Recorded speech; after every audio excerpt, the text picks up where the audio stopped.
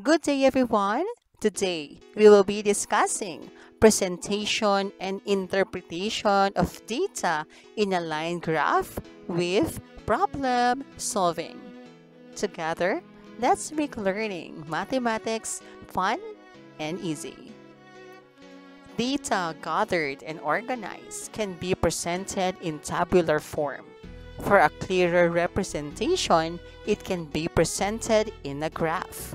One of these is the line graph.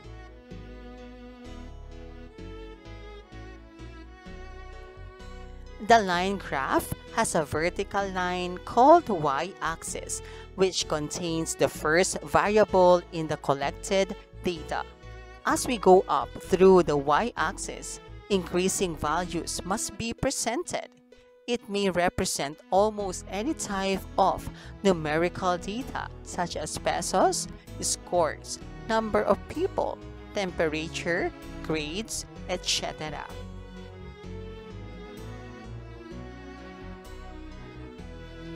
On the other hand, the horizontal line called x-axis in the line graph contains the second variable that relates to the first variable in the collected data. As we go to the right in the x-axis, time periods or names of things being compared are enumerated.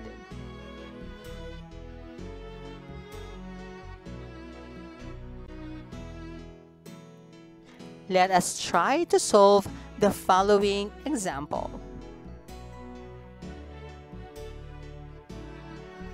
Karine recorded her daily expenses in school for a week.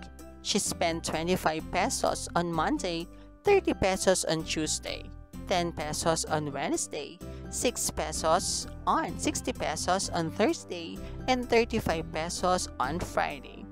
Let us organize the data in a tabular form and present them in a line graph. Fill up the table with the correct data.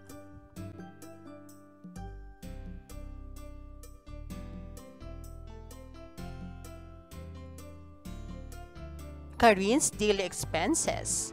On Monday, her expenses is 25 pesos. Tuesday, her expenses is 30 pesos.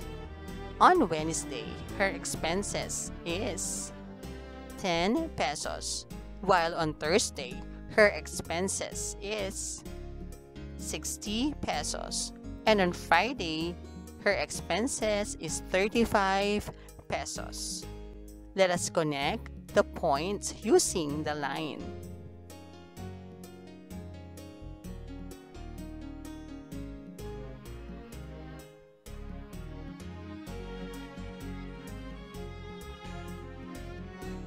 A line graph is a visual comparison of how two variables shown on the x-axis and y-axis are related or varies with each other.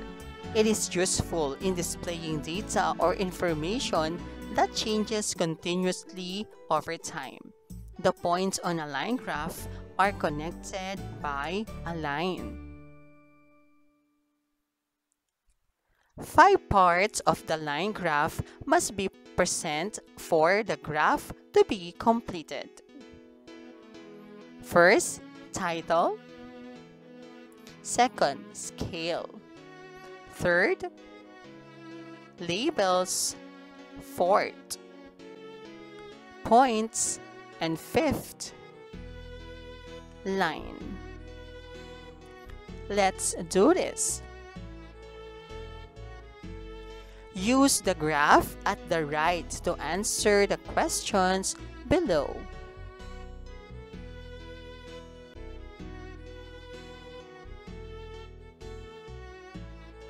What is the title of the graph? The title of the graph is Comparison of Plant Growth.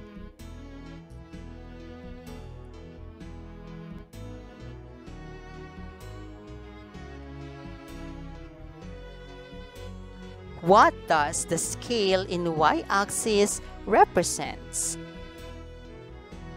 The y-axis represents the measurement of the plant in height or centimeter.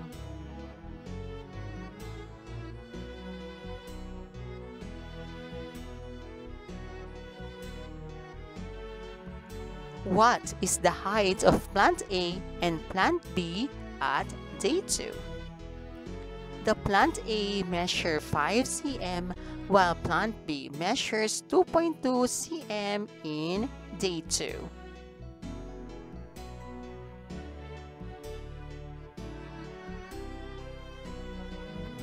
Which plant shows great increase in height?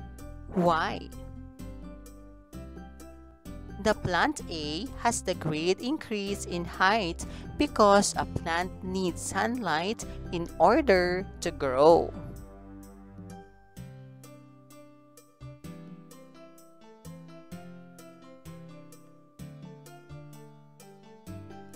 What happened to the plant near the window? The plant B, which is near the window, shows the least increase in height.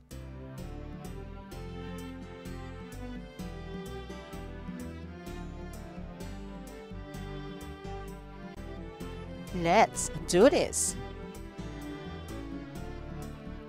Grade 5 Aries of Gatid Elementary School held their class elections last Monday. For the position of secretary, Scarlett, Jelani, and Karine were nominated. In their class of 30 pupils, they gained the number of votes. Scarlett 9, Jelani 5, Karine 14. Organize the data in the table and answer the questions that follow. Number of votes for secretary in grade 5 Aries. Our nominees Scarlett with number of votes 9.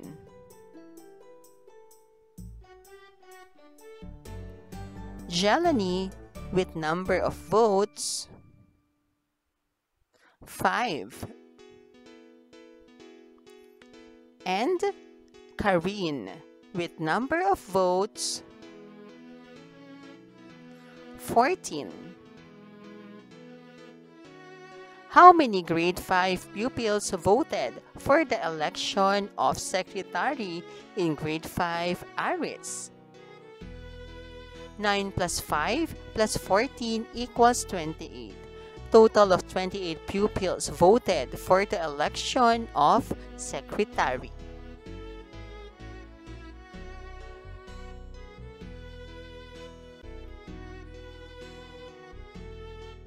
What is the total number of votes gained by Jelani and Karine? 5 plus 14 equals 19. Total of 19 votes gained by Jelani and Karine.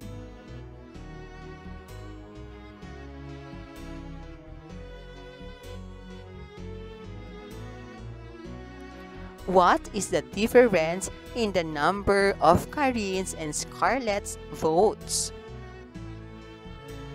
14 minus 9 equals 5.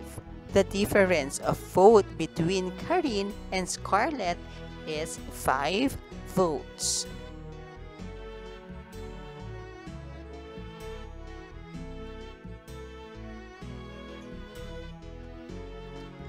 If there is a total of 30 pupils in grade 5 Aries, how many pupils did not vote?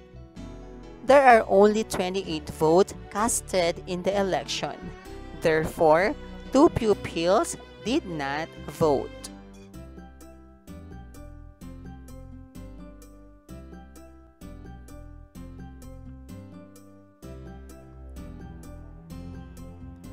If all the students were present, present last Monday, who do you think will win the election for secretary?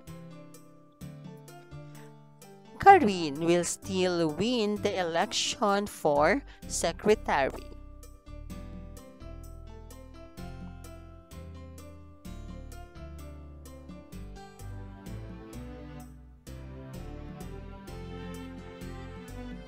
Present the votes of the nominees using line graph.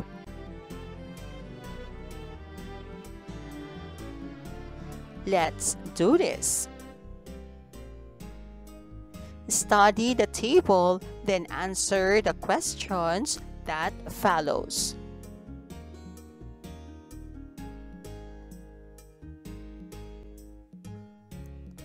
What is asked?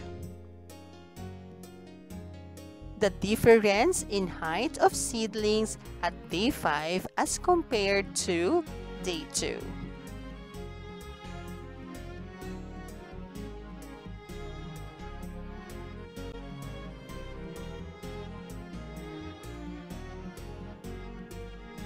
What facts are needed to solve the problem? The data of height of seedlings in D5 and D2.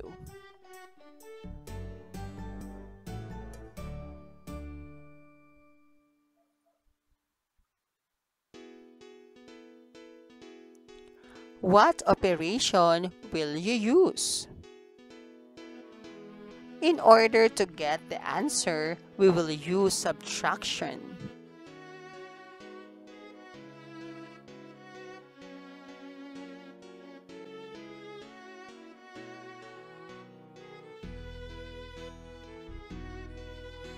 What is the number sentence? 3 minus 2 equals n.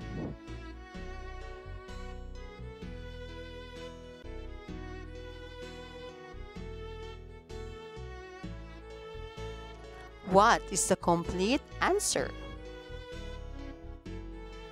3 minus 2 equals 1. The difference in height of seedlings of at date 5 and date 2 is 1 cm.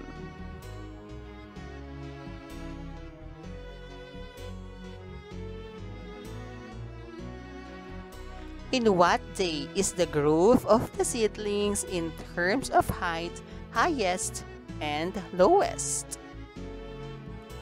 In day 5, the growth of the seedling is in the highest, while in day 1 is the lowest.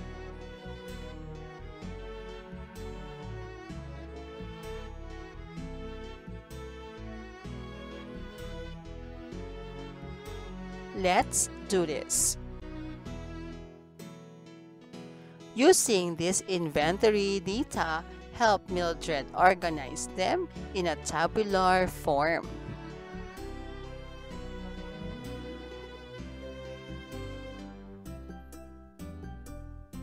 Mildred's daily sales of ice candy. Day Monday The amount of sales 300 pesos. Tuesday, the amount of sales? 250 pesos. Wednesday, the amount of sales? 150 pesos. Thursday, the amount of sales 250 pesos. Friday 500 pesos.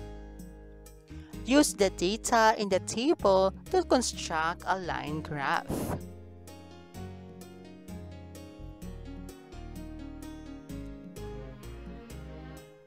What day Mildred has the lowest sale?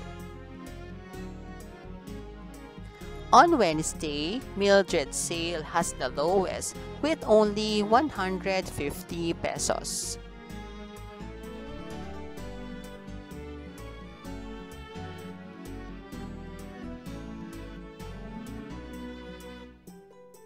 What days she has same amount of sales? Tuesday and Thursday has the same sales with 250 pesos.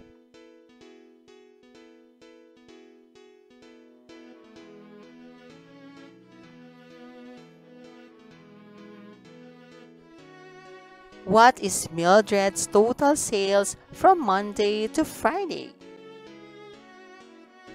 300 plus 250 plus 150 plus 250 plus 500 equals 1,450 is the total sales of Mildred from Monday to Friday.